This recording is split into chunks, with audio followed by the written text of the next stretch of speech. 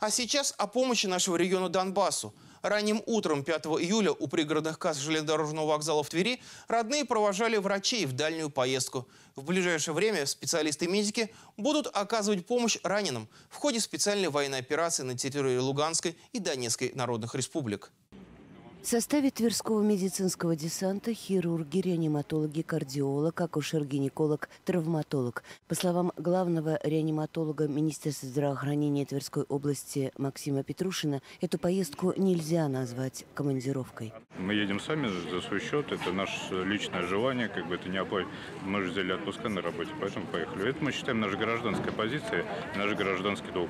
В семье Максима Петрушина скоро пополнение. Супруга с пониманием отнеслась к решению мужа. Но я его понимаю, его настрой, его отношение к пациентам, к родине. И, наверное, я знала, за кого ухожу замуж, и должна поддерживать его в этой ситуации.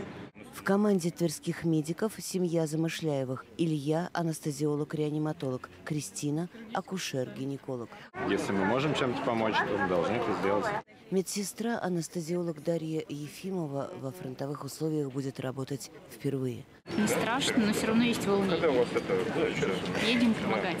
Помощь врачей и медицинских сестер там, в Донецкой и Луганской народных республиках, действительно необходима. И не только нашим военнослужащим, но и мирным жителям, тем, кто месяцами жил в подвалах, спасаясь от обстрелов со стороны украинских вооруженных сил. Именно поэтому гражданский поступок тверских медиков трудно переоценить. На Луганской и Донецкой земле о Верхневолжье теперь знают не понаслышке. Врачи уже приезжали туда на помощь, а еще из Тверской области доставлялись тонны гуманитарного груза, собранные нашими неравнодушными земляками.